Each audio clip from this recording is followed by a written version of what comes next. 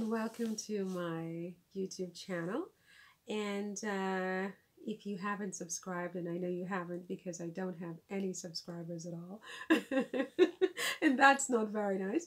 Um, if uh, if you'd be so kind to to hit the subscribe button. Oh, I don't know the speech I'm supposed to say here because I'm so new at this, but hit the subscribe button and the thumbs up to say yeah yeah yeah you agree um and if you must leave a comment try to be nice. Although sometimes when i leave comments i'm just like very very frank and very honest about what i think about everything. But in any event um welcome to my youtube channel.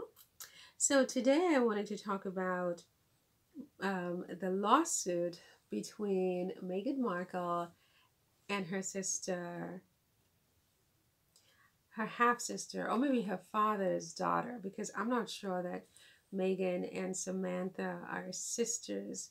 You know, nothing beyond a DNA link anyway. They, this is not what a sister is. And I think that what I said in my in the blog that is attached to this YouTube channel is, is true. You know, being a sister to me is so much more than biology. So you can be biologically linked to someone, it doesn't really make them a sister. And being a sister is more than just saying the word sister.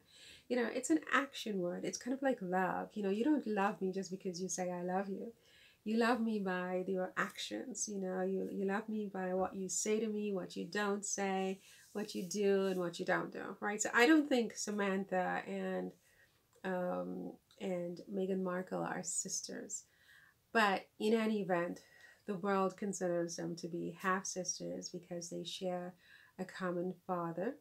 And apparently, Samantha Markle has brought a lawsuit in, I believe, Florida against her half sister, the Duchess of Sussex, Meghan.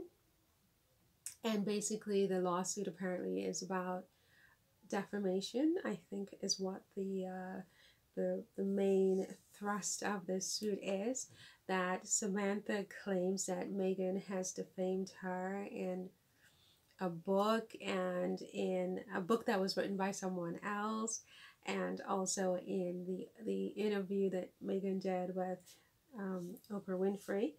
And so for me, based on all of the things I've heard uh, about this suit, it sounds to me like a very frivolous lawsuit. And that means on by law, I mean frivolous lawsuits should be dismissed immediately, you know?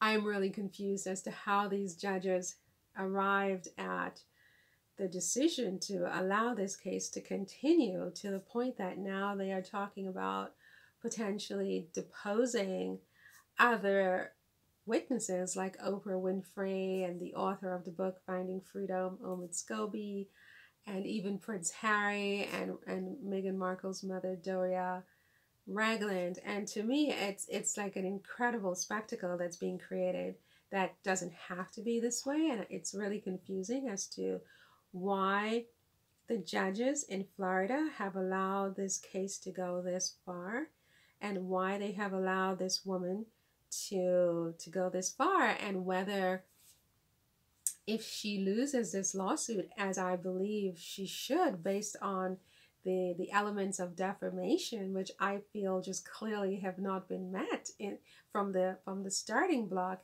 they have not been met in this case.